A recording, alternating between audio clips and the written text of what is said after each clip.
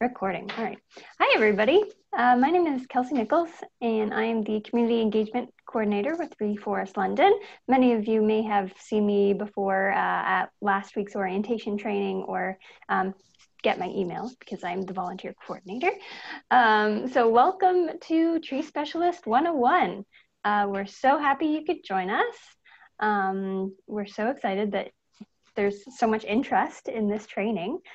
Um, and our project manager, Juliana, is going to be leading it today. So if you want to go to the next slide. Um, and I'll just mention too, so when you entered, um, you were automatically muted. Um, you can have your video on or, or not, it's up to you. Um, and we just prefer that you stay muted. And then if you have any questions throughout, you can put them in the chat box.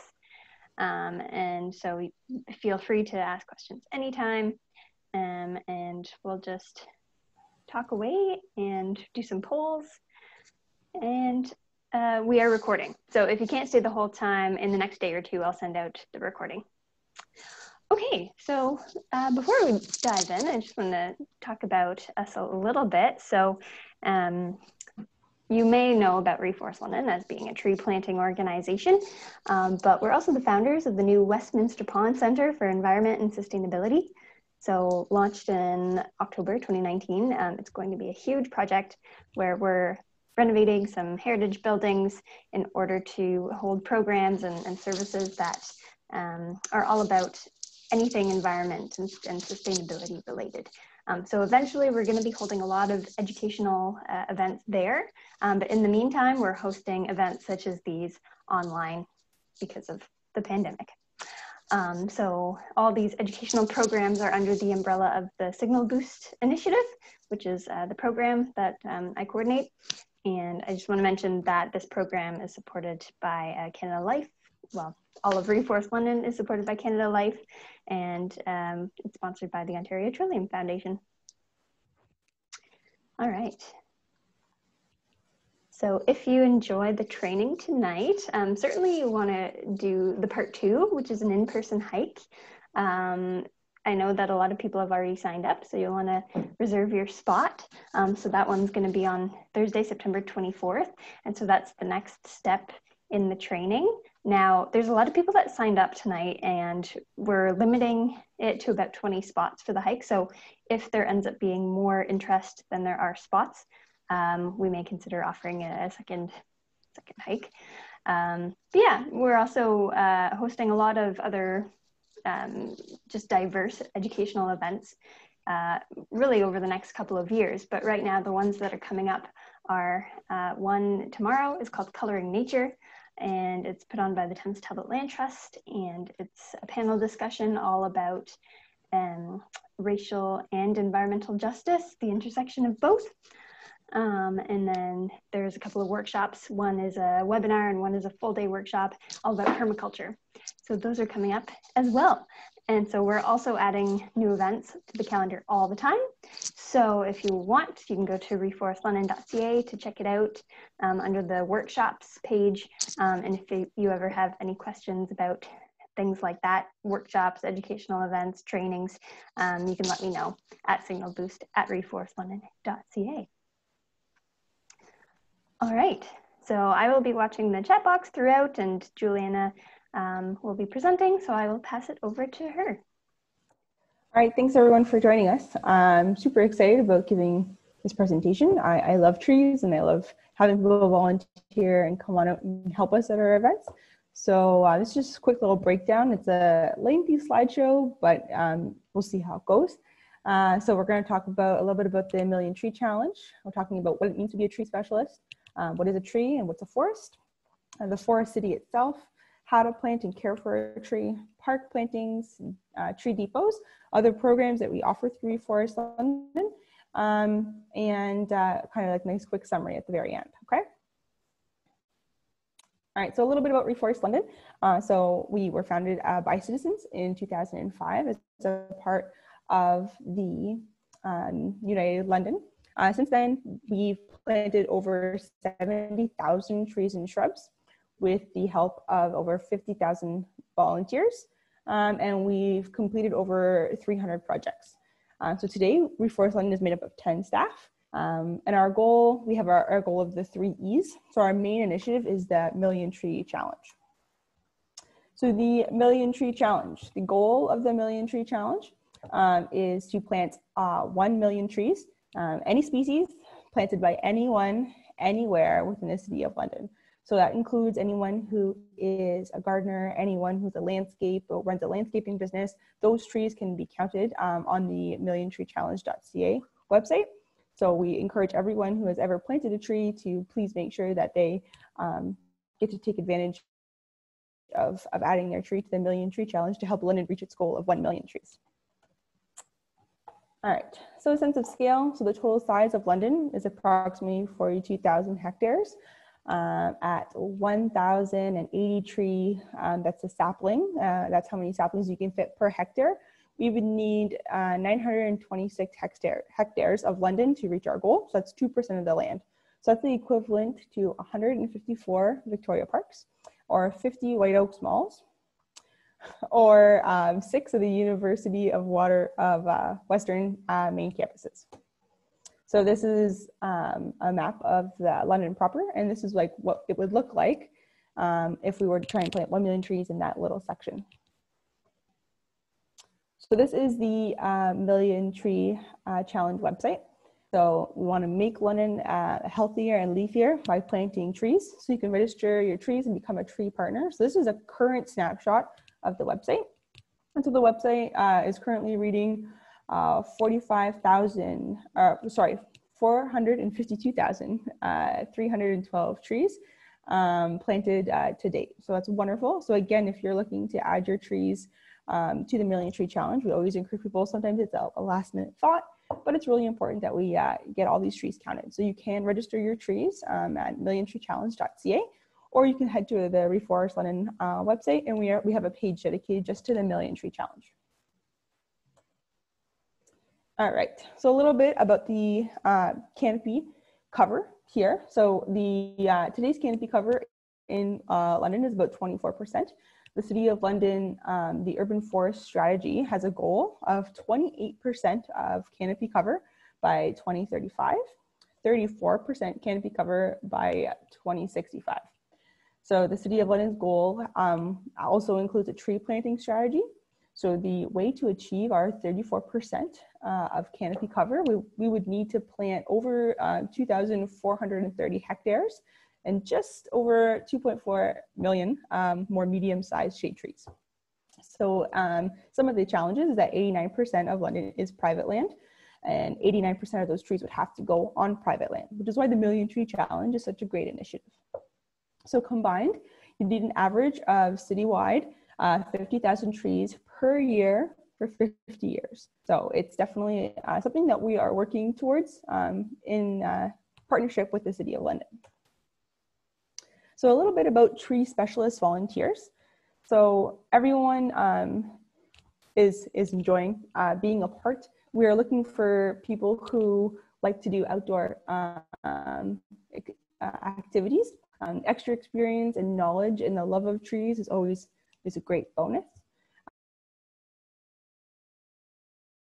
Uh, we love higher level of engagement and at special events and hike leader training um, that is happening this fall. So um, tree specialists, volunteers are needed at park naturalizations, tree depots, and aftercare. Those are all events that um, tree specialist volunteers can come out and assist with.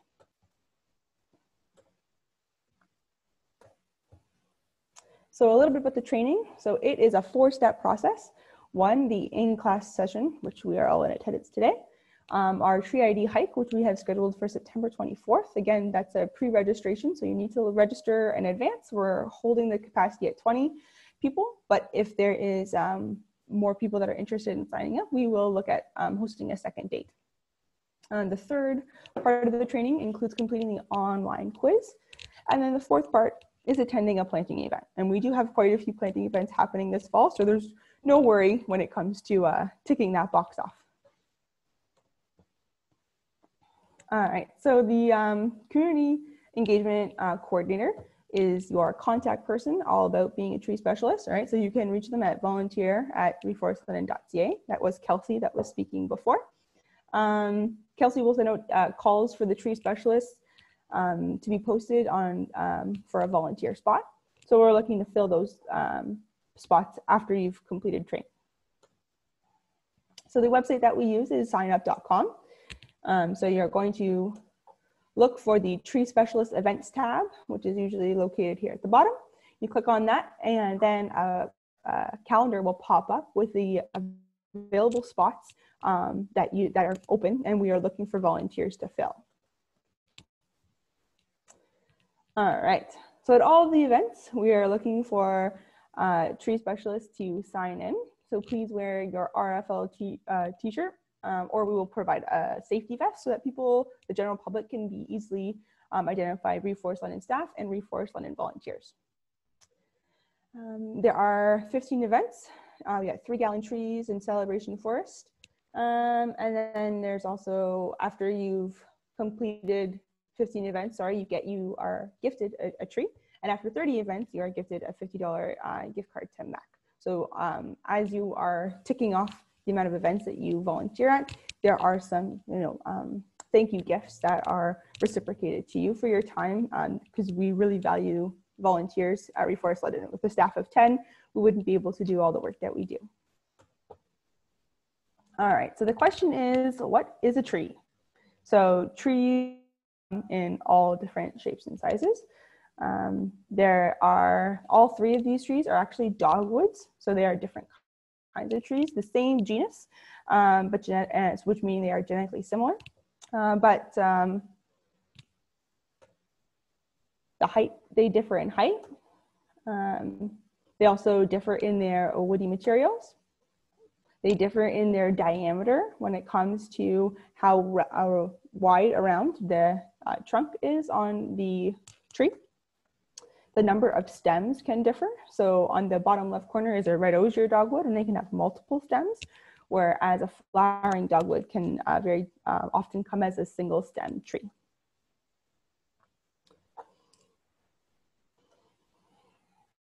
All right, so for the purpose of the Million Tree Challenge, um, all individuals of the same species um, need to be perennials and have woody stems.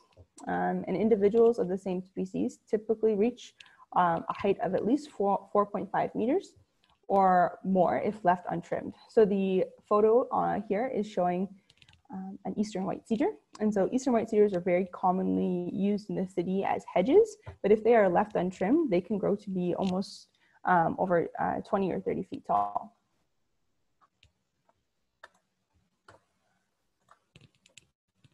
All right, so uh, what is a native tree?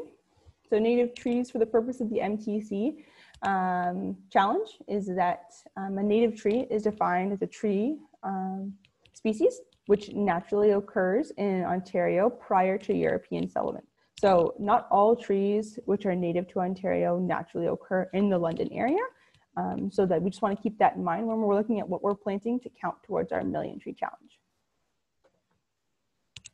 Right. So what is a forest? A type of terrestrial ecosystem dominated by trees is the basic definition of, a, of what is a forest. But forests do change based off of being urban or rural forests. There are many different organisms that live and coexist within a forest. There are many different layers from within a forest. So the layers can, they um, vary from the canopy, the very tops of a tree to the understory, um, down to the shrub and sapling layer, which are usually quite shaded in a forest. And they also actually includes the ground cover layer. So uh, forests can very often include swamps and savannas. So canopy cover versus woodland cover. On the left, uh, the percentage of ground area underneath a tree um, that the crown covers is considered canopy cover. Any and all trees, standalone group plantings, forests, etc., all have canopy cover. And they actually include woodland cover where woodland cover is the percentage of ground covered by woodland area, naturalized tree habitat. So it's an area that has been naturalized. Um, it has kind of it taken on a form of its own and it's not like just a standalone tree. Um, it does not include cover provided by standalone trees. So woodland cover does not include that wide range um, of canopy cover. All right, so this photo here is showing you that the uh, uh, a tree that would be planted and the canopy cover it would give. So the um, inner circle, that innermost circle, is a the canopy cover of a tree that has been planted um, in its first year, and the canopy cover it provides. By the year 2035, the canopy has grown to cover more than 26 meters squared, uh, and that's the um, amount of area that that canopy now covers. And then by 2065, which is that 50 year peak that we're looking, the max canopy cover could cover um, for a medium shade tree over 176 meters squared. So the lesson here that we want to take away from this is that the sooner that we plant the trees, um, the sooner they can grow and the sooner they can help um, cover that, that can't get, um, help us achieve that canopy cover that we're looking. Okay, so trees in the forest city. Um, today in the urban area, we have 4.4 million trees. That means there are 12 trees per person, and our current canopy cover in London is 24. Uh, percent. in Ontario, we have forest cover that has been reduced from 80% to 11%, and that is due to um, uh, urban sprawl. So forest and climate change. So the benefits of, of having forests, we've all heard this before, um, that forests,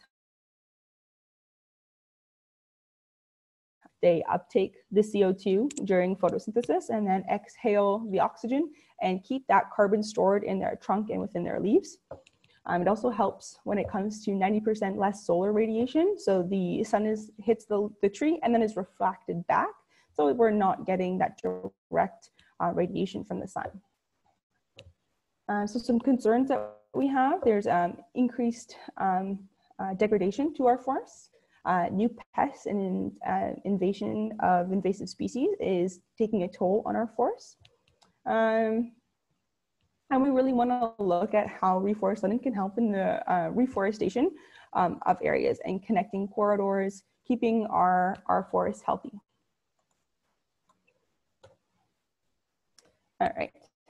So a little bit about our restoration ecology. So restoration ecology is the process of assisting um, the recovery of an ecosystem that has been degraded, damaged, or destroyed. Um, Ontario's tree cover has been reduced, like I said earlier, from 80 to 11%, leaving lots of room for restoration ecology to help um, and to uh, create more forests. Uh, the London's current canopy cover uh, is around 23%, but the city is aiming to increase to 28% by 2035. Restoration has the potential to generate an additional forest habitat, provide buffer zones for pre-existing habitat, and to increase the connectivity of many um, patchy forests within the city. So it's really important that the, the restoration efforts can continue to help create those green spaces within um, these broken and patchy areas. Restoration is not a quick process by any means. Um, it can be a long process for forests and it can take up to 100 years to match the high quality of um, reference sites that we're hoping to achieve. So it's definitely not something that can be done overnight. Um, and it takes years to achieve uh, a healthy, uh, thriving forest. All right, so the question is always, why do we want to plant native? Um, planting native has many benefits. One of the many benefits is low maintenance. So these, these uh, native trees um, are already adapted to the area. Once they are established, native species require little upkeep because they have, they're meant to be here. They've been here for thousands of years and they will continue to be here. Um, so they're great because they don't need a lot of um, tending to. They are beautiful, uh, as many people know. Many native species offer uh, showy flowers, uh, beautiful seasonal color changes, which are happening very soon. Um, they are great for conserving water because they've already adapted to the area. They require less water than a non-native species. So they don't require uh, um, taking water from seasonal flooding areas, but they can, can thrive on just the right amount of water because they, they don't need that extra bit of tending to. Uh, they're a great benefit for wildlife. Not only are they providing habitat, but native species have co-evolved and have coexisted with these native trees. They um, have coexisted with insects that have developed a highly specialized preference for these native species. So, such as native plants also support more than one species than non native plants. Um,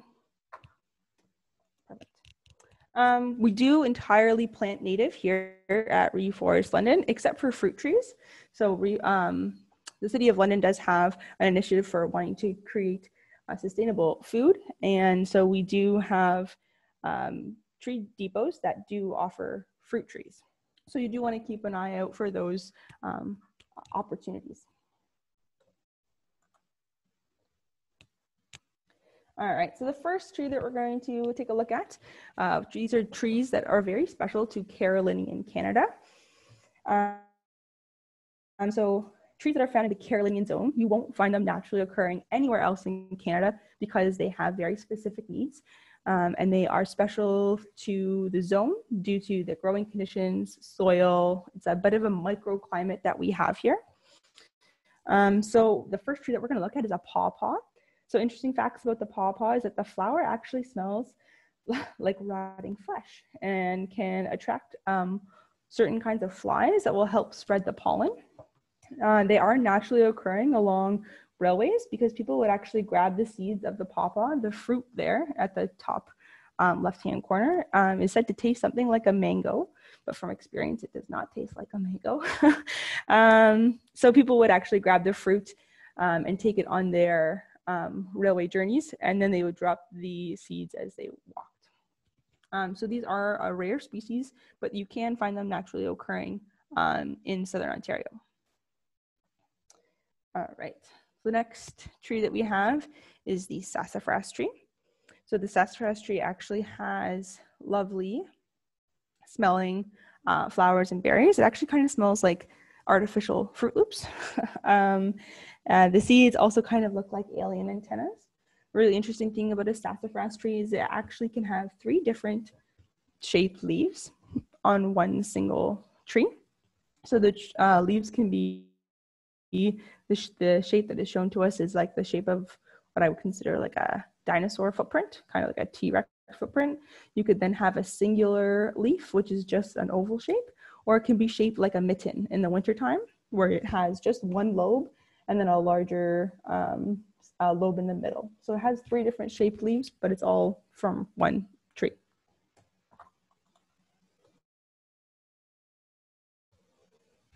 oh, the elusive redbud.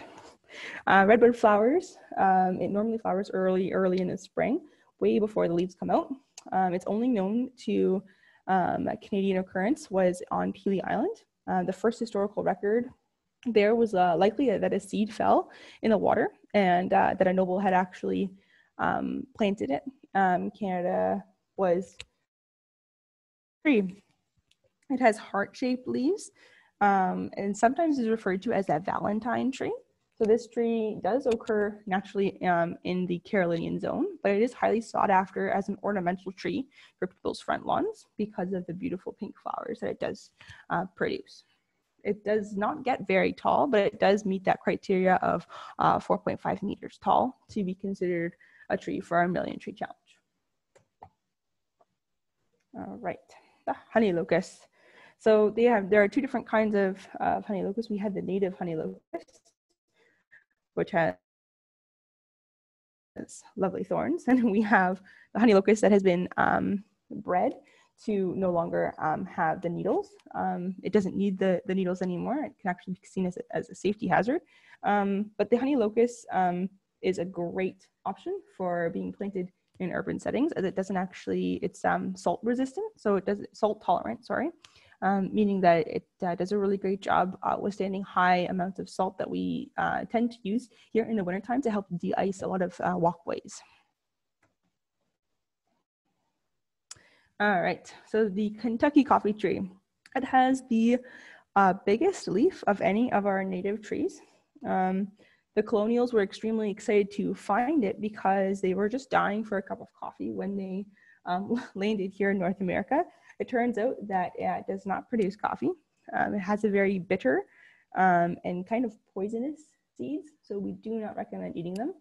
Uh, but they do have extremely hard shells. So um, It's a, it's a very unique tree, um, very long um, leaves. So that entire photo at the very top, from the bottom of the stem all the way to the tip, all of that is considered one leaf, um, which is extremely rare. And again, like we said, the largest uh, leaf of any of our native trees. All right, so those are all of our Carolinian um, specific trees. But when we go on our tree hike, the ones that we will uh, do some identifying with. And um, like we said, the tree hike is scheduled for Thursday, September 24th from 5.30 p.m. to 7 p.m. Sun does start setting um, near and around 7, so we won't uh, keep you too long after that. Um, we would like you to uh, not necessarily meet us at the Reforest London office, but to meet by the Wellington building. Um, we will um, um, start our hike um, a little ways away from the office. We want you to um, bring Trees in Canada um, if you have a copy. And we will be doing um, some ID and planting practices um, at our tree ID hike. Juliana, hey. Yes. Uh, so there was one question from Michael saying bur oak leaf. So I'm not exactly sure what he's asking, but it may have been one of the photos and um, earlier. Maybe, maybe um, I'm not sure if that's one of the ones covered in here, but um, I guess could you say how to identify a bur oak? Yeah, yeah. So bur oaks are um, we have quite a few native oak trees to the area, but bur oaks uh, are have said to have kind of like a shovel look. So they have a very large um, top to the leaf, um, and then uh, deeper lobes at lobes um, as you get down further to the stem of the leaf. Um, we do have quite a few uh, bur oaks located um, at the ESA property that we can definitely point out to you, and we can help you identify the difference between a white oak, a bur oak, and a red oak. Um, it's not covered in this PowerPoint, but it's definitely something that we can touch on uh, during our hike. Great. While I'm at it, I'll just say for the people who aren't sure where the Wellington building is, um, when you go up the hill on Western Counties Road, which is in behind the Parkwood Hospital, um, you'd turn left so there's a parking lot to the left, um, just as opposed to going to the right where our main office is. Um, and that's just because we'll have another event going on that same evening. and I, I think we have a, a, few different copies of the Trees in Canada oh, books too. So we do definitely. have maybe like six copies or so, but um, they're they're just really great books. yes, yeah, they're they're very handy, and they have more than what we have on the property to cover. But it's always great to, to have a good reference book. All right. So some of the major challenges that uh, London is, does face when it comes to our Million Tree Challenge um, is 8% of uh, London is woodland cover. So remember that doesn't count towards our canopy cover number. Some of the most common species are found by stem count is actually and by uh, by leaf cover is actually Norway maple, which are both non-native species. So they do not count um, towards our million tree challenge. Um, not only are they non-native, but the European buckthorn is actually seen as an invasive species. So that's something that we actually want to remove um, from the London area. Um, so another challenge is that we have had massive mass loss of ash trees due to the emerald ash borer, and the possibility of losing um, a large percentage of our oak trees due to oak wilt. So there are quite a few concerns um, that we do have and some major challenges facing us when we're looking to increase um, our canopy cover um, in the London area. All right, so this is our Asian longhorn beetle. It notably eats maples and poplars to the point um, they were used um, to um, during the sugar maple logs as a bait for the beetle. Uh, for those of you, um, it does attack some of our favorite trees, so we could lose up to 50% of our sugar maples. Um, if you see it, you, we do ask that you report um, it to the Canadian Food Inspection Agency. Uh, so far, it has been contained to the GTA, but people are constantly on the lookout, making sure that it does not harm one of our largest um, exports, the, the sugar maple. All right, so the emerald ash borer the emerald ash borer has come and has done quite a bit of damage. Um, it does emerge in May. Um, it was discovered in London uh, in November of 2006. Um, at fully grown, the beetle is 8 to 14 millimeters long. Um, adults lay eggs under the bark of the ash tree, Once the larvae have hatched, the larvae actually bore into the tree and begin feeding off the tree. So those are all the tunnels that are created are from the larvae that are feeding off of the phloem of the tree. The phloem is the woody uh, material that actually helps move nutrients from the leaves to the roots and vice versa. So that's why the emerald ash borer is um, so detrimental. Not is it that the um, beetle itself, but that the larvae and the way that the larvae attack the tree, that it's extremely um, harmful uh, to the, the ash trees uh, within the London area and throughout all of Ontario. All right, oak wilt is one of our new um, concerns that we do have here in Southern Ontario. It's caused by a fungus. Um, the disease does spread uh, two ways, above ground and below ground. The concern is the below ground aspect. Um, the fungus actually spreads from infected to non-infected trees through the interconnected root system. Um, above ground, uh, there are sap beetles that can carry the disease from a dead oak tree to live trees. Uh, springtime is one of the most common times for the disease to spread. Um, currently, the um, oak wilt is seen more prevalent in oak, uh, red oaks, um, pin oaks, um, black oaks, and Shumard oak. Um, they can actually succumb to the oak wilt disease and die in a matter of weeks. So, some of the key features that you can keep an eye out for if you're concerned that your oak tree could be um, suffering from oak wilt. Are the leaves turning almost a golden brown color similar to how they would look in fall but um, necessarily in fall you'd see it earlier than that. So how can we protect our oak trees? There are some really simple ways that we can protect the trees in this region. We want to avoid pruning oak trees in the growing season. Um, as increase, it increases the likelihood um, of the beetle carrying the fungal spores being attracted to the tree. So if a tree does need to be pruned, uh, actually help mask the scent of the sap um, so that the tree will be protected from the beetles. Another really big uh, way to help protect our oak trees is again, do not move firewood from one area to another. Firewood can harbor disease, fungi, insects. We also want you to be on the lookout for any unusual changes. Um, oak trees should have um, their leaves in July. And if their leaves are on the ground in July, that is normally one of the perfect. So again, we really don't want to, we want to make sure that we're trying to really keep these big three simple steps in the front of our minds, avoiding pruning oak trees in the growing season, not moving firewood, and being on the lookout for unusual changes. So even though we've had a, quite the dry summer, we should drop their leaves uh, in July. That would that would cause for some concern. All right, so we are looking to how to plant a tree. So we want to plant the tree at the right time of year. We want to pick the right tree for the right location.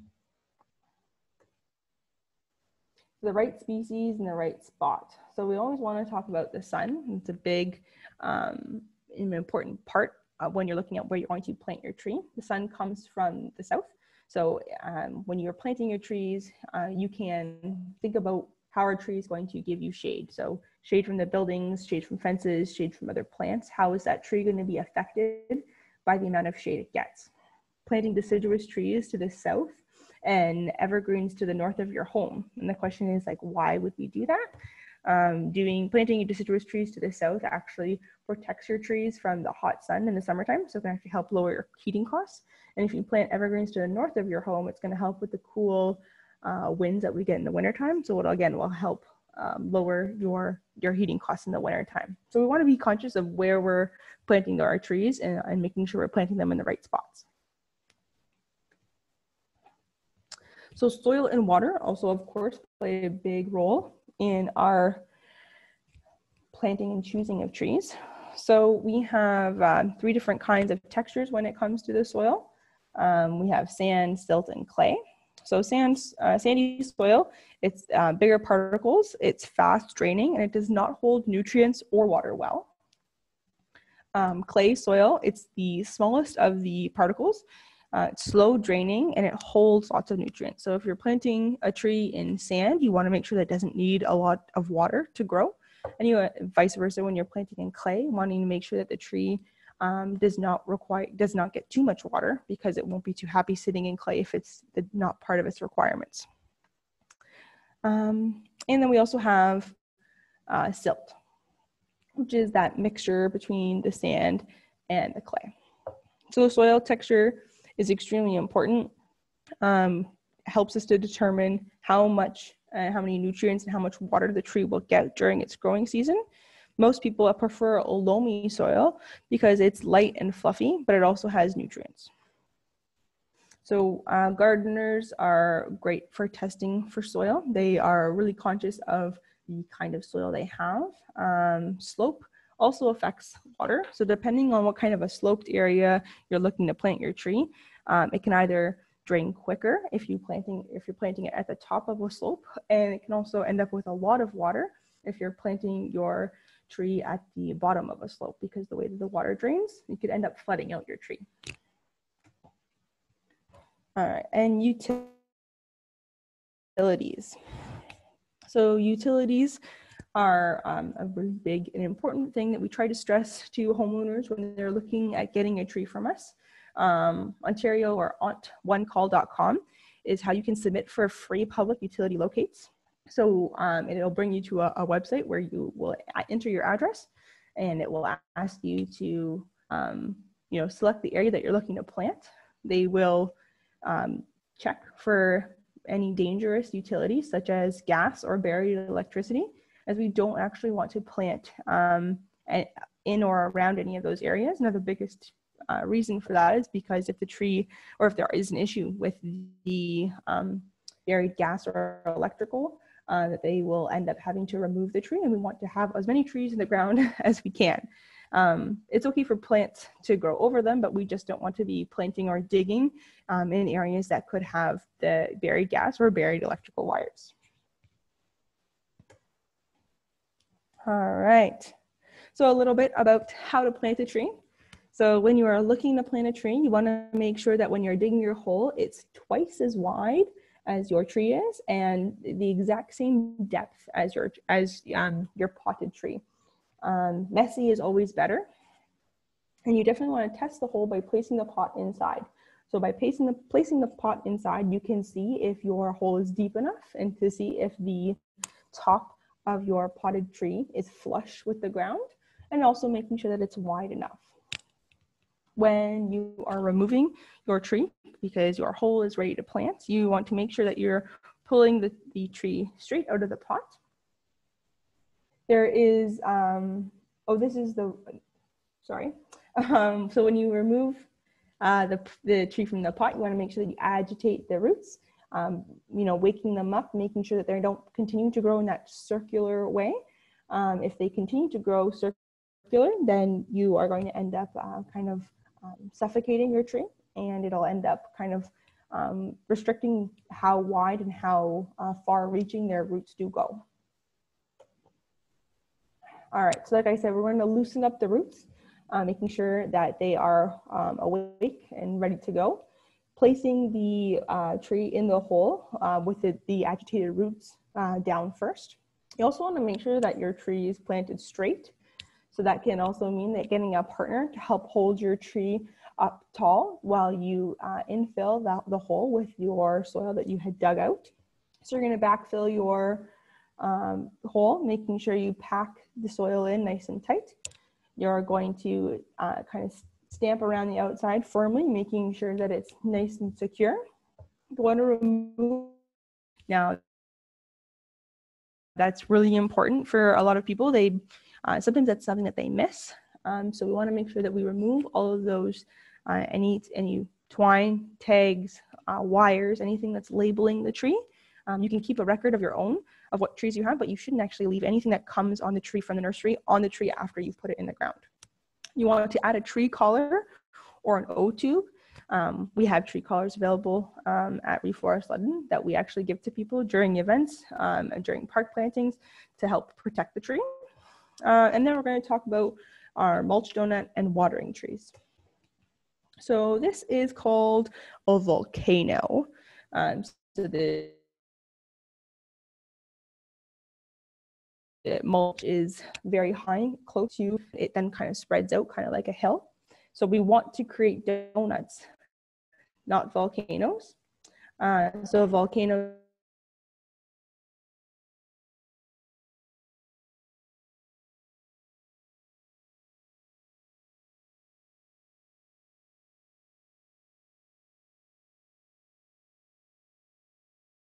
which is there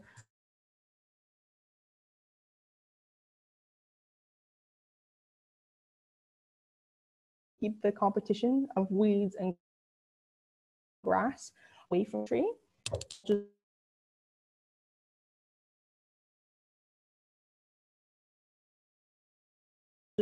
just keep your um, locked.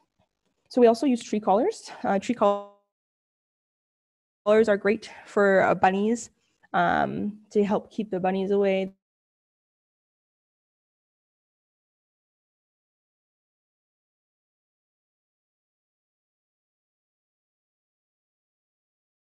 Time. All right, so again, like I said, we want to make sure that we're removing any cause what's called girdling. Um, it'll cut through the phloem uh, of the tree, which I mentioned earlier. Same way that the beetles cut through the phloem and affect the way nutrients flow up and down the tree. Same thing if we leave any twine or wire or tree tags on. So it'll affect and be detrimental to that limb of the tree if we were to leave um, that string or wire on. All right, so how um, the bark, the buds, and the actual pith or checking um, the trunk of the tree. So you don't want to just look up at the top. You want to look at the bottom uh, for epicormic branching. So this is um, showing for signs of in infect insect infestation. So they can also, they can, for about a year, um, the top can die, uh, but the plant itself can actually resprout from, resprout from the base. So that's actually um, checking for epicormic branching. So the top can die and then you will get, this is called the pith. So this is where you can tell if it's still green on the inside, that means that the tree is, is still um, getting nutrients and, and surviving. This is the epicormic branching. So this is very um, common in ash trees where they are, the top has died back because of the lack of nutrients flowing up and down the trunk of the tree. So it has started to send out shoots from the bottom to help try and get some photosynthesis going for the tree to help creating um, sugars. So you want to keep an eye out. Um, if the tree is alive, you want to make sure that you put a collar up to the leaves. It's extremely important.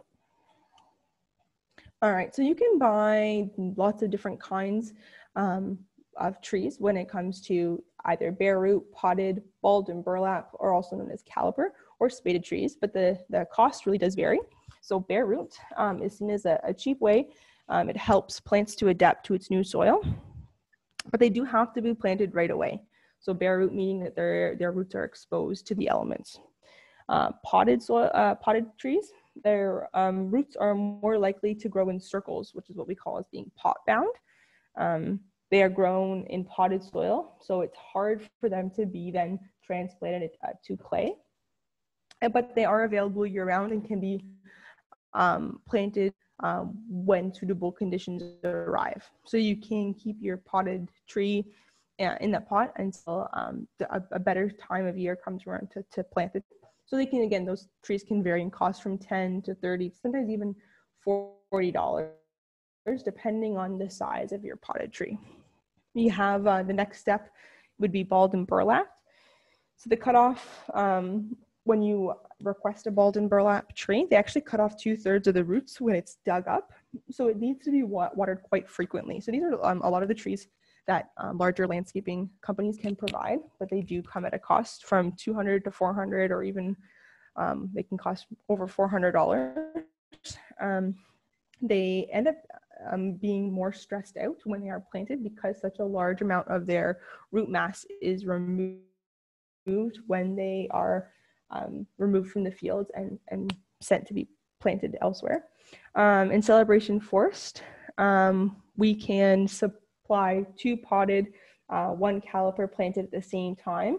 Um, the, cal- the potted trees will then um, actually do just as well, if not better, than a caliper tree due to the um, amount of stress it undergoes. And spaded trees are ones that actually need to be removed um, with, a, with a machine, kind of like taking a large shovel on two ends, and they actually physically lift and remove the tree. You're normally getting older trees um, that don't like to be removed. So it's, uh, it's a tree that ends up being stressed out for longer periods of time. So we always recommend buying either potted or bare root, um, depending on, on what you're looking for. And bulb and burlap are great options, but you just have to remember they do tend to need a lot more care. This is our potted tree. These are bald and burlapped and these are spade removed. So they are quite large trees um, that need heavy machinery to, uh, to move and then place elsewhere. All right, so where can you get your trees? So we do have tree depots um, that um, are happening this year. We have kind of changed uh, the way that they look, but they, we do have uh, trees that members of the public can come get for, for a, a donation. Um, garden centers are a great option. Wholesalers, so some of the wholesalers that that we are familiar with include uh, and are and grow local stock. Um, include St. Williams, Hillens, Winkelmolen, um, RNH Ranch, box stores like all like a Home Depot, Home Hardware, uh, Rona. They all can carry different sizes of trees. Uh, landscapers, um, and of course you can get them from your um, local conservation authority. So the Upper Thames uh, Conservation Authority, Tree Power, Private Land Program. There's a lot of different providers that can help you get in contact with um, sourcing a tree. All right. So caring for your trees, we want to make sure that there are four W's that you want to remember to do. We want to make sure that we are watering trees uh, once a week in warmer weather. If it hasn't rained, um, is a great rule of thumb uh, especially for the first two to three years to really help the tree get established. If you think about it, they were happily growing in their little pot and all of a sudden they've been, the roots have been agitated. They potentially have had some, um, you know, rough awakenings to, to the real world and they need to really help get established and have good uh, root structure. So water is, is extremely key um, for any tree to succeed. You also want to remember to do weeding around your trees. Um, it helps reduce uh, competition for nutrients, competition for water, um, and we also want to make sure that we are uh, topping up the mulch. So keeping that mulch uh, donut around the tree, keeping the mulch away from the trunk of the tree and having a nice wide ring to help keep the weeds down is extremely um, beneficial to the tree in its first couple years. We want to think about weed whacking. It's the fastest way to kill trees. So when you are looking at keeping weeds away from your tree, we want to avoid weed whacking. We want to actually pull, hand pull weeds. Um, the reason that tree collars are, are so beneficial, yes, they work for keeping away the mice and the bunnies and the deer in the wintertime, but they also protect your tree from the weed whacking. Um, remember, any of that damage to that outside phloem will affect nutrients and the way that nutrients move up and down a tree. And if there is lots of damage to the phloem, the tree will not have enough sugars stored to get it through the winter and then when spring comes it won't have enough energy to actually produce leaves so it's uh, one way ticket to not having your tree uh, make it through the winter if you have a lot of weed whacking damage and we also want to keep an eye out for wildlife uh, tree collars um, or O-tubes are a great way to help protect your tree. There is wildlife repellents. So at Reforest London, we do use Skoot which actually helps keep deers away from a lot of um, trees that they enjoy snacking on, such as sugar maple. Um, but yeah, you do want to keep in mind that keeping your tree collar on is a great way to reduce the amount of wildlife damage that can happen. All right. So there are lots of different um, tips and tricks that we're going to uh, take a look at when we do do our, our hike. So we are going to look at soil tests, uh, taking a look at the emerald ash borer damage. We are going to be looking at European buckthorn. We will look at quality control when it comes to tree colors, mulching, uh, and showing you the difference between sugar maples and Norway maples. All right, so we're going to talk about park naturalizations and what that looks like for a tree specialist when coming to, to help out. So when you arrive at a park naturalization event, uh, you want to check in with the Reforest staff, uh, making sure that you've got your yellow t-shirt, or if you don't have a yellow t- or a t-shirt, sorry, then a yellow vest will be provided. Uh, making sure that you come with a positive attitude is always a game changer. So the setup phase, we will ha- um, ask you to help sort um, and um, make sure that trees are dispersed evenly, uh, set out at the proper spots for planting, help unload equipment. So we normally do bring um, shovels um, to the event, filling mulch buckets and wheelbarrows as we do do mulching at our event. So not only do people plant a tree, but they also then help get the tree set up. So mulching is uh, a part of our planting. And then possibly uh, placing trees, digging holes, or um, collaring trees before participants arrive um, is always great help at park naturalization events. All right, so during the event, we're looking for quality control. So what that means is making sure that people are digging holes that are two times as wide as the pot and as deep as the pot is. So again, showing them how to do um, a, a, pot test, making sure you add your tree in the pot to the hole to, to test how deep or how wide your tree is. Um, we could ask uh, tree specialists to assist with taking photos or collecting stories from participants, uh, doing volunteer counts, actually doing a planting demo. We always start with a planting demo so that everyone uh, has an understanding of what we're um, hoping to achieve. Coloring our trees, which is adding that tree collar to protect from rodents, um, adding Skoot, um, or doing um, infill. So sometimes we are planting at a site that we've already been to before, um, but we're looking to kind of fill in the gaps. So we may ask you to go and, and do some of that planting while the um, event is actually happening to the side. And then sometimes we do have people that trickle in a little bit late. Um, all of our park naturalization events are going to be for, you need to have pre-registration. Um, so some people may come in late and so then you can uh, demo for the people who have kind of trickled in and you can give them a little rundown of, of what the expectation is uh, during a park planting. So the first 30 minutes are extremely important for quality control, making sure trees are straight, making sure the collar is cut at the right height, making sure that tree tags are removed, and that we are making mulch donuts and not mulch volcanoes. All are, are really important um, key uh, quality control bits that we want to make sure that we keep an eye on in that first 30 minutes. Um, so in addition to the tasks we mentioned before, we want to make sure that we are teaching um, other volunteers at the event about their tree. So it's really important that we have a good understanding of, of what we're planting in the park. Um, so teaching them a little bit about what the, the tree needs for its living conditions, what kind of environmental benefits does that tree have, what kind of animals depend on the trees that we are planting in the park. We want to help ensure um, safety at the events. So making sure that, you know, we are having shovels that aren't laying on the ground, pitchforks that are having their pointy ends sticking out, uh, making sure that people are collecting and disposing of their garbage correctly, um, direct questions to staff as needed. So if there's a question that you're not 100% sure of the answer, you can always come to the park manager or um, another RFL staff member that's there, and they'd be more than happy to field questions. And at the end of the event, you want to check for any abandoned equipment, um, garbage um, that is, is laying around. So we want to make sure that we don't um, leave scissors or um, shovels, pitchforks. Uh, we use buckets a lot of the times to help uh, move mulch around events. We don't want to leave any of that equipment behind and making sure we don't leave any garbage behind either.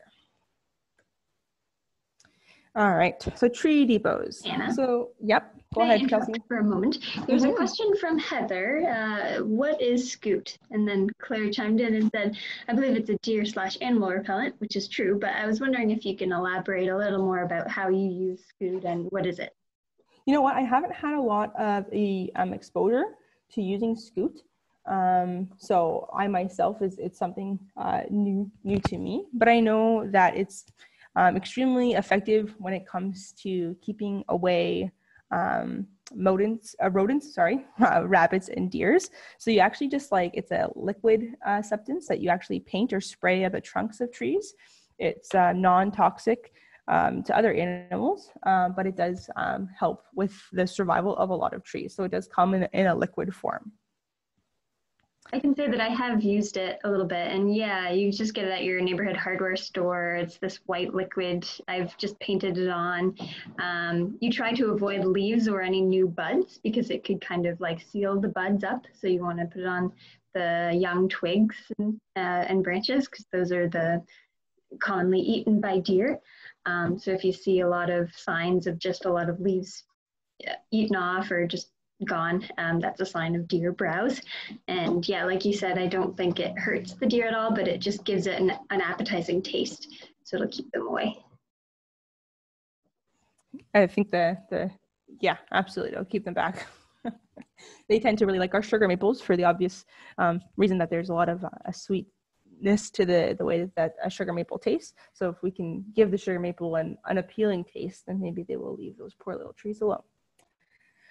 Um, okay, so moving on to tree depots. Um, so arrival time is extremely important when it comes to tree depots. Um, this year, the way that we are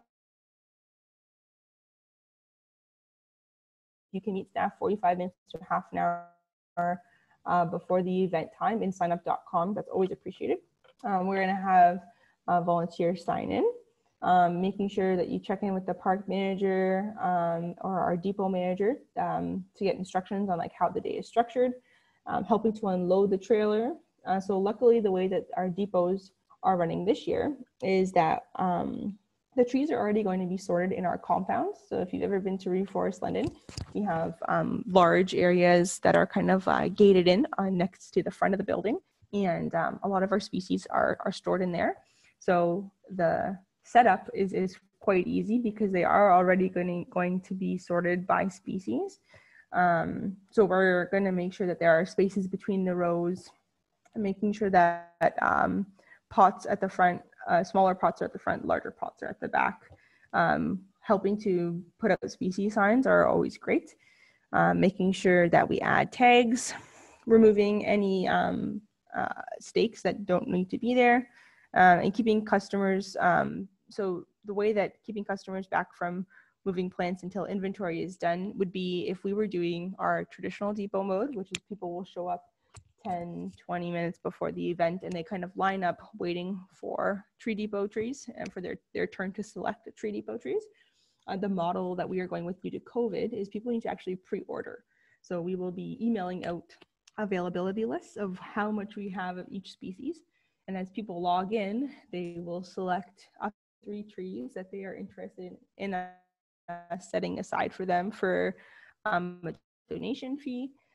And then they will arrive at a specific time. So they are then given um, different time slots to choose from, and they are expected to show up within their vehicle at the designated time. They drive up, we kind of like take attendance and ask them to confirm um, the trees that they've requested and be like, yep, those are the trees that we have set aside for you. And then we relay that information back to a tree specialist, and they will then go into the compounds and pull um, the trees that were requested and then we actually don't load the tree into the vehicle for them unless they kind of require assistance. We place the tree um, at the designated pickup spot and the um, recipient will then hop out of their vehicle and load the trees into their vehicle. Um, so at a normal tree depot, pre-COVID, um, tree specialist volunteers actually help each resident in the line pick out a tree. So you will kind of be paired up with someone asking them about the um, conditions of their backyard and what they're hoping to achieve. Um, the limit is normally two to three trees per household um, as long as they reside um, within the city of London. And we ask them to fill out a tree recipient form, which allows us to kind of um, input the information uh, for them into the Million Tree Challenge uh, website. We give them a take-home information and tree color package so that they um, understand, you know, the, the care needed for their species. Lots of people will get three different species and not be 100% sure on the care and maintenance for each species as they do differ. Um, so giving them a take-home information package um, is really important. Um, so that they have all the tools ready to succeed and help keep that tree alive in their yard. And then we always encourage them to donate. Um, without the donations to the program, we wouldn't be able to continue to offer tree depots. So donations are always so wonderful. Um, you because we are going this pre-order method, people can actually donate when they order their trees for the event. So we are, I'm sorry, on the reference sheet, if they have donated, to make sure that we thank them because it's really important to us that without the donations, um, we wouldn't be able to offer these tree depots to the residents of London. So at all events, we uh, want to make sure whatever event a tree specialist is attending, making sure that other volunteers are learning and having fun about the trees. So we always like to give people a little bit of background information on what kind of animals trees support, what kind of uh, vegetation they do well with. I'm encouraging people to always participate in the Million Tree Challenge. So making sure that they um, register any trees that they've uh, gotten through us or anything that they've purchased through box stores um, and talking to someone um, about a potential project. Um, I, I currently am taking over the planting projects for Reforest London right now. So if they have any questions about looking to get a planting event happening at their workplace or looking to get involved in an aftercare event, um, they are more than welcome to uh, get in contact with me um, at an event. All right, so a lot of common questions that you may get at an event. Uh, what are these black spots on my maple? So these are tar spot disease. It's actually just a fungal infection. It affects all types of maples, but Norway maples do seem to be um, hit quite hard. Um, there's actually little effect on the tree's health, which is a great, great thing to tell people because people always assume that their tree is dying and that it's like toast. Um, but it's actually just, it's a fungal disease, like we said, and it's just kind of unappealing to look at. Um, the fungal spores actually uh, fall from the leaves in the spring. Um, the best thing to do is to actually rake up the leaves so that the fungus does not continue to, to fester in that area. So again, not detrimental to your tree, just not very nice to look at. All right, so do I need to cut down my ash tree? Um, so the uh, emerald ash borer currently is affecting ash trees, um, which are true ash, which they come from the Fraxinus genus. So they're not affecting mountain ash. Um, the hope is that your tree is a resistant tree. So you want to make sure that um, you, you could get lucky enough that your tree could could be resistant to the effects of the uh, beetles and the larvae, but it is 90% plus are actually expected to, to die because of the disease. Um, you want to keep an eye out for brittle and falling branches. If your tree does exhibit brittle or falling branches, um, then that is uh, cause to, to possibly have the tree removed. Um, but if someone does uh, is looking to have more um, intensive care because they really care for this tree. The tree is really large and it's like a, a very important tree to them. They can look at being uh, treated with TreeAzin is one of the, the options. But again, um, as Reforest London, we always do encourage people to, if they have a concern about their tree, to contact an arborist, um, someone who is certified in looking at tree disease, tree pests, um, and they can give them um, a much more concrete answer uh, photos can only tell you so much, right? So we always want to encourage people that we can try our best to answer questions for you, but if you're looking for a definitive answer, that we encourage them to contact a local arborist to, to come and have their tree assessed. Okay, so why are these three gallon plants the same height as the one gallon plant? Um, we get a lot of that um, at, at events. Um, so some species grow at different rates, uh, depending on um, the pot size, depending on the soil requirements. Um, some trees require larger pots while still very small. Um, a great example would be our bitternut hickories. Um, they are, are, extremely slow growing, but uh, have a taproot, so they do need a larger pot to, to suffice um, their growing needs. Uh, and sometimes plants will grow more um, in girth, so their trunk will uh, grow quickly as opposed to their height. So it's just important that you express that to people that it's not like the three gallon tree is not sickly, um, even though it's small. Um, it's just the type of tree that is, is grown and, and, planted in that pot. But once you plant it in its appropriate um, growing conditions with the right soil, the right amount of water, proper sunlight, the, the tree will um, adjust and, and grow as it should.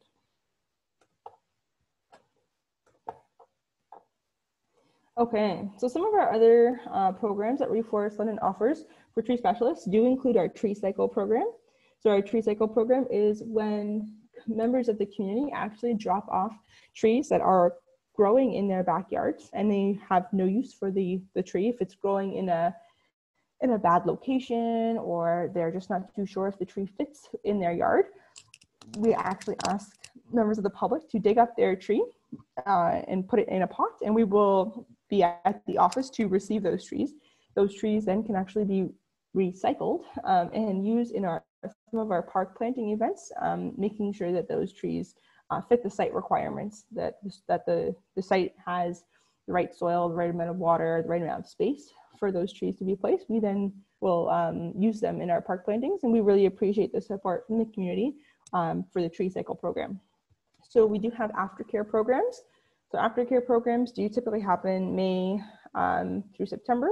We had quite a few of um, aftercare events in July and August this year, and we are going to hopefully be continuing aftercare um, into September and potentially into October um, if the weather allows. So aftercare um, allows us to go to past planting projects, looking to do some tending to those trees. So normally trees that we've either planted um, in the spring or in the previous fall, we will uh, go back and revisit um, and we will mulch a lot of those trees. So we will weed around the trees that are in the ground.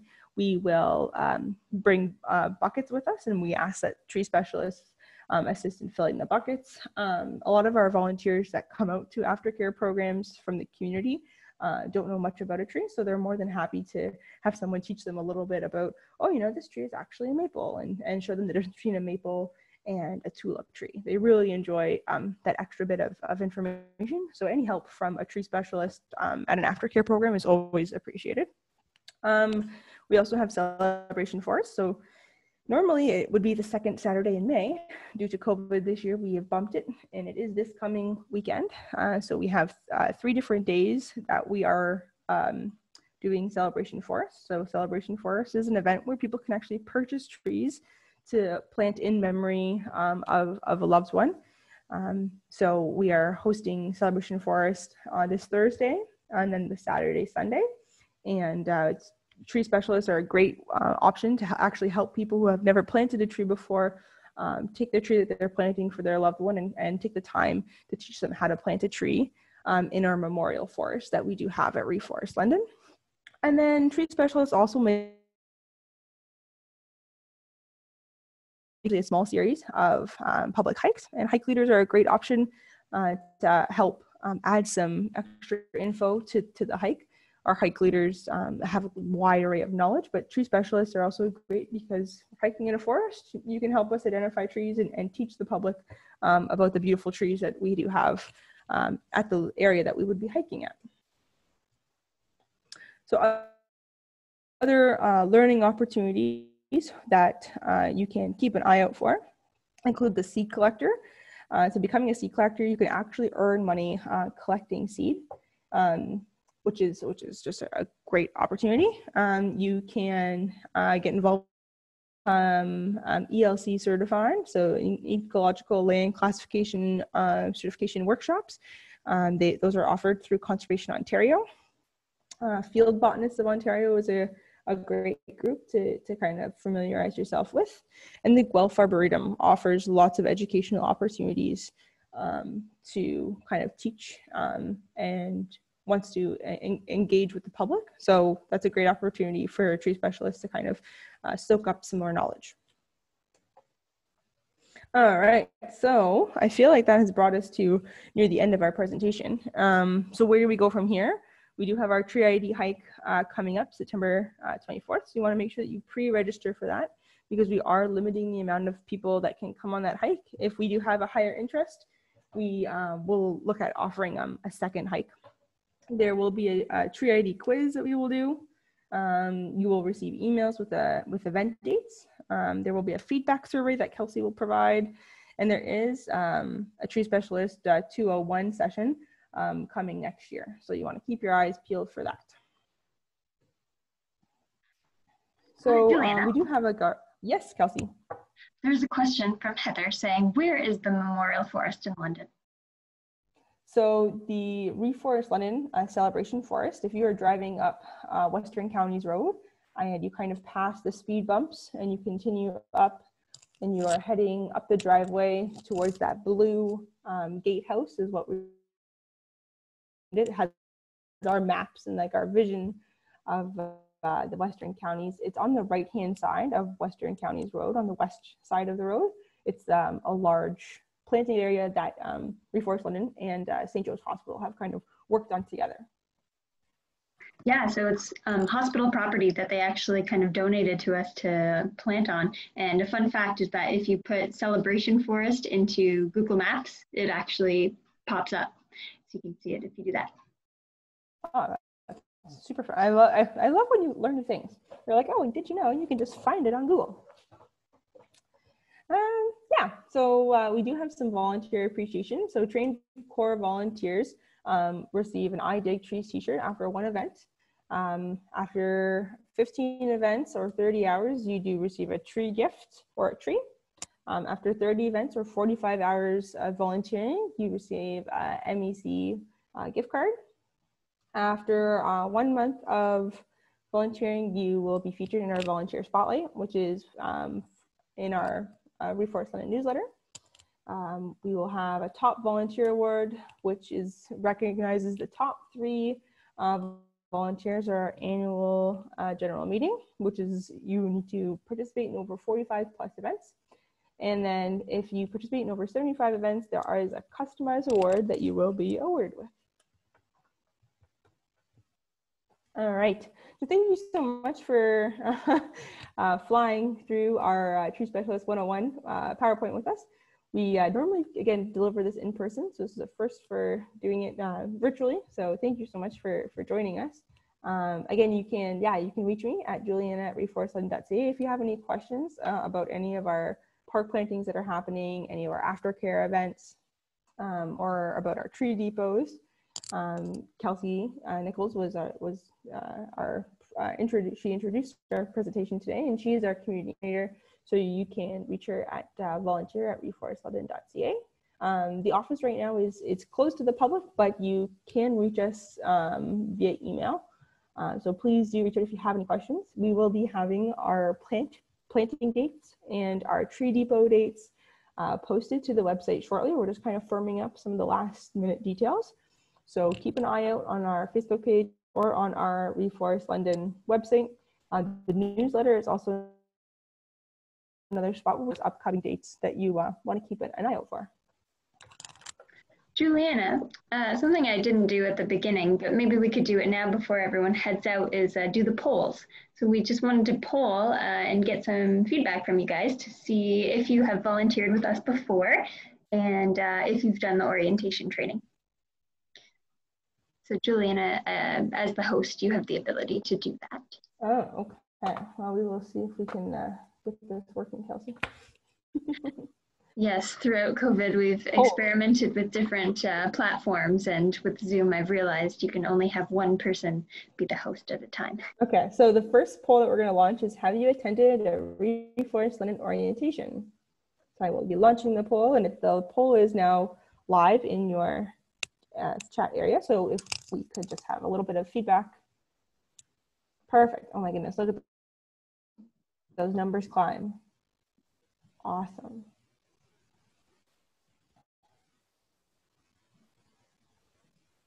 All right, so we've had 80% of people have responded. So I will give it just a couple more seconds. So I can mention, so we ask that people complete the orientation um, as well. It's technically the prerequisite for this training. Um, if you haven't done it yet, you can always do it after the fact. Um, and maybe in our follow-up email, I'll even send out um, the recording to the latest session in case you haven't done it or um, in case you want to watch it again. So we did it a week ago or last week at some point, and um, now it's on YouTube, but it's you only gain gain access if you have the link to it. So I can share the link with you guys, and then you can always get the training that way. All right. So we've had um, pretty much everybody has voted, and we've got 71% uh, have answered yes to attending the Reforest London orientation, and just under 30% um, have said no, they have not. So in that poll. Perfect. So we will, all right, relaunch polling. Oh, no, we already did that one. Is there another one, Kelsey, that you wanted me to? Yeah, if you click on polls, there should be a little uh, drop down arrow where you Perfect. can choose the other poll. Yeah, it's not super intuitive. No, I didn't know that. so poll number two is have you ever volunteered with Reforest London before? So some of you may have volunteered with us in a different capacity, but not necessarily as a tree specialist. We're just curious to see what other roles people, um, if you have volunteered with us before in another way.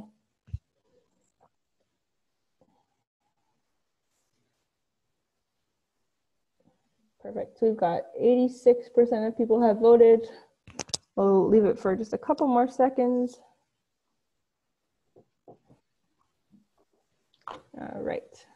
Closing poll, sharing results. So 68% of people have volunteered with us before, so welcome back. And 32% have not volunteered with us before, so welcome to you. we look forward to having you. Oh, yeah. Perfect. Um, we have a couple of questions and keep them Yeah. coming because um, there's lots of time. I mean, I guess we'll head out if uh, they really slow down, but um, in Sure. the meantime, um, a couple of people are asking about gypsy moths. So, what do we know about gypsy moths? Um, so, Bad. CFKEN said, um, Is there any plan to try to pick the egg nests from the trees? So, um, I actually have an answer to that Yeah. um, if you'd like. So, um, through the Signal Boost program, we hold a lot of educational webinars and things like that. And um, we're in talks with uh, the City of London to hopefully offer some training um, in the fall for how to, I guess, yeah, remove the the egg nests um, that are on the trees. So hopefully, it's still in the works, but hopefully soon there will be news about um, a, a kind of training or a webinar uh, that will probably be followed by some educational hikes where you can join and we'll show you how to do it.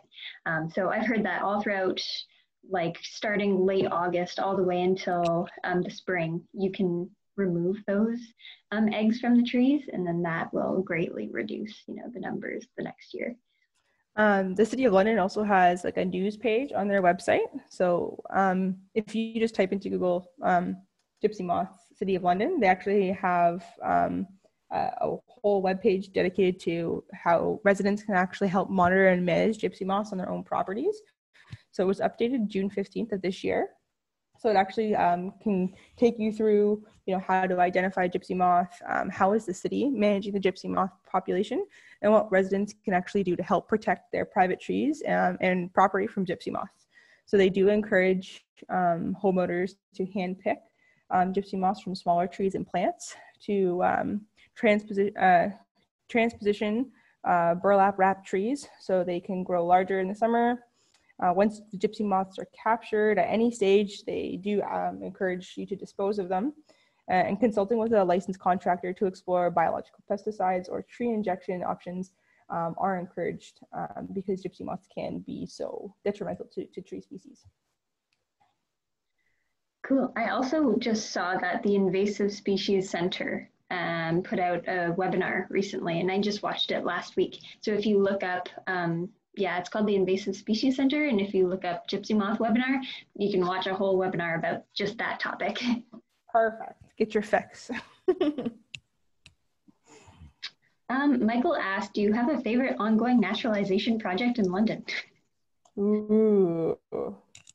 We're taking on a new project this fall at Bristol Woods, which is part of another ESA, which I su- think is like super exciting. Um, there's a lot of buckthorn on the site, so the more that we can get some naturalized um, and native trees in there, that'll kind of help stop maybe the effects of the buckthorn. So I'm looking forward to that as an upcoming project.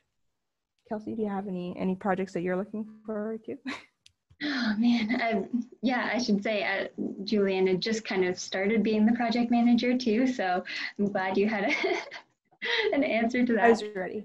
I'd say it's hard to pick a favorite. I have one in my neighborhood, and so I like going to visit it. So park, and I just like being able to check up on the trees. But I I think they're all pretty even. that, that's a good answer. uh, so Charles asked, do Japanese be- beetles cause issues to newly planted trees? If so, what does RFL do to prevent the infestations? So like we said, the Japanese beetle is kind of um, lower on our priority um, as, as an issue um, within uh, London. Um, it's it's a was an issue that was contained primarily to the the GTA. Um, so as Reforest London, we actually aren't exterminators by any means. Um, so if you do see a Japanese beetle, we uh, we encourage people to to capture them. I know that there are Japanese beetle traps, but it's not something that like we um, specialize in ourselves. Um, so they do sell Japanese beetle traps at like Walmart, Canadian Tire. So if you're looking to kind of discourage them from munching on your your plants locally, um, otherwise, again, contacting the city and letting them know that there may be is an infestation central area pretty hard or hitting a local park, um, the city might be able to deploy some some resources to help assess and, and treat the area. Um, but as Reforest London, we don't really have um, a big role to play in managing um, the beetle and its its infestation currently. That's the best I got. So Lori mentioned that she picks them daily and tosses them into soapy water. Um, I had heard that it was more in Toronto than in here. So um, because a big part of what we do is education, it's definitely good to hear if they're around here. Um, and then I think it was somebody asked if we could share more information about these kinds of other topics like invasive species. Um, I should mention that on our website, go to reforestlondon.ca and then click resources. There, there are quite a few um, different resources about all kinds of tree topics from how to choose the right tree from, for your yard to um, a page about different invasive species in the area and what you can do about them. Um, so I will actually uh, post that in the chat so people can access that. Yeah, I think it's uh, it's always hidden kind of on our on our website, but we do have quite a bit of online resources um, at reforestlondon.ca. So if you do take the time just to kind of pan through um, and and see what's available there, um, it might just take. You can shoot us an email by by any means, please. Uh, if you can't find something, um, a resource on our website, uh, just reach out, out to us, and we'd be more than happy to navigate you in the in the right direction.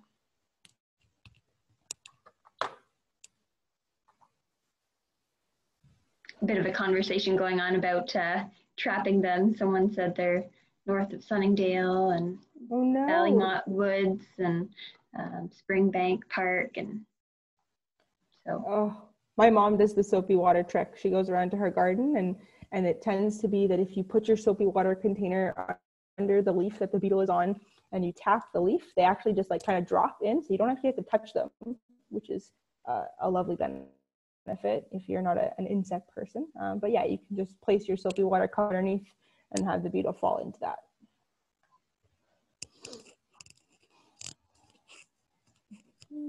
So I guess I can reiterate the next step. So I'll send out a follow-up email that has the recording of this and the link to sign up to the hike. And um, yeah, so everything will be in the email. Perfect.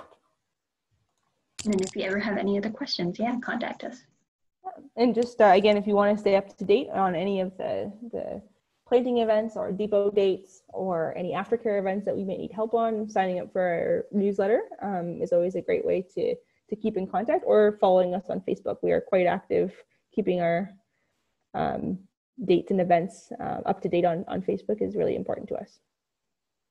Actually, another thing that I forgot to say that I was going to say was that um, we're really, really close to um, publicizing the uh, planting dates and depot dates, but for the tree specialists, um, the sign up calendar for that is coming out even before we can publicize it. So that'll oh, yeah. out like by tomorrow. So mm. I can send that yeah. to you guys. Technically, you need to still do the hike in order to become the official um, tree specialist, but once you do, then um, I will email you on an ongoing basis um, anytime uh, there are opportunities for tree specialists. So they have their own kind of separate calendar that's you know, private. It's not accessible to anybody else unless you get that link. So um, you'll get on that exclusive tree specialist email list. Yahoo!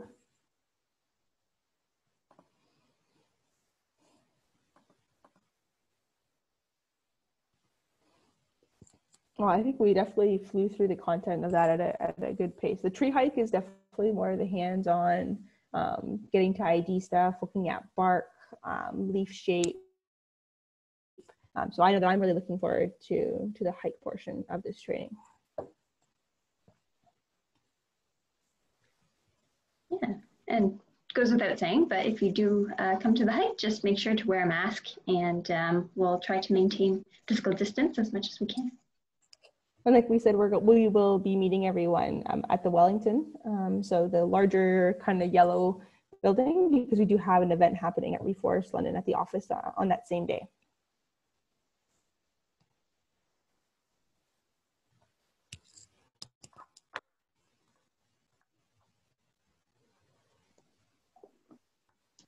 Eser says, very excited to volunteer with RFL for the first time. Yay! Yeah, it's a great time to do this training because we have a lot of events coming up right now, a full slew of fall events. And um, we didn't really do a whole lot in the spring. We didn't do any public planting events because of all the uncertainty and the freshness of the pandemic. So um, we actually weren't sure until very recently about what was going to happen this fall. So luckily some uh, funding kicked in and we were able to host these, these events. All right. I guess um, the questions have stopped coming in. So Juliana, if you're okay with that, maybe I'll just close this out. Thank you so much again for uh, sticking with us, for coming out to this training tonight, for listening in, and um, have a great night. Thanks, guys. Thank you. Bye. Thank you. Bye-bye. Bye. Bye-bye.